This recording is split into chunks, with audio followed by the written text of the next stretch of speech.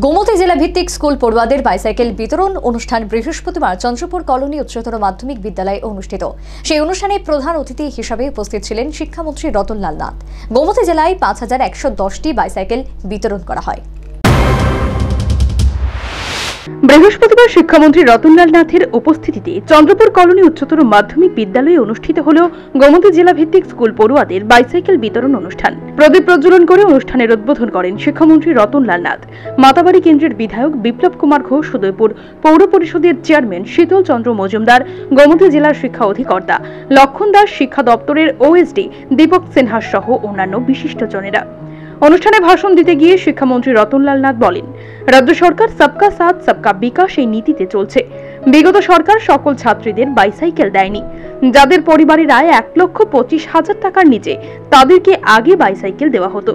এখন সব মেয়েদের সাইকেল প্রদান করা হচ্ছে। তিনি তথ্য দিয়ে বলেন দু হাজার আঠারো থেকে উনিশ শিক্ষাবর্ষে সাইকেল প্রদান করা হয়েছিল আঠাশ হাজার। দু থেকে কুড়ি শিক্ষাবর্ষে ছাব্বিশ হাজার পাঁচশো ত্রিশটি সাইকেল বিলি করা হয়েছে। করোনা পরিস্থিতির কারণে দুবছর সাইকেল বিতরণ করা যায়নি। এখন আবার বিলি করা হচ্ছে। ছাত্রীদের পড়াশোনার প্রতি উৎসাহ বৃদ্ধি করতেই রাজ্য সরকারের এই উদ্যোগ। এবং এবছর আমাদের এই আঠারো, উনিশ উনিশ, কুড়ি এবং কুড়ি, একুশ একুশ, বাইশ।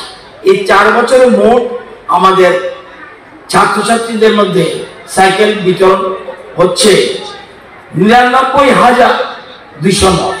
প্রায় এক লক্ষ সাইকেল আমরা এই চারটি বছরে মেয়েদের মধ্যে বিতরণ করেছি, যার জন্য আমাদের খরচ গেছে তেত্রিশ কোটি দশ লক্ষ টাকা আমাদের খরচ হয়েছে।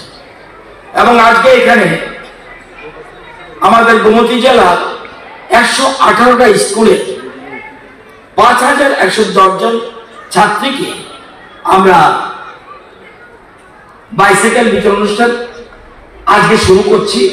পর্যায়ক্রমে এই সিপাহী উদয়পুর গোমতী জেলা এই এই মাসের মধ্যে বাকি স্কুলগুলি কমপ্লিট করবে এদিন গোমতী জেলার একশো আঠারোটি বিদ্যালয়ের নবম শ্রেণি পড়ুয়া পাঁচ হাজার একশো দশ জন ছাত্রীকে দেওয়া হয় বাইসাইকেল। Bureau report news फैनगार्ड।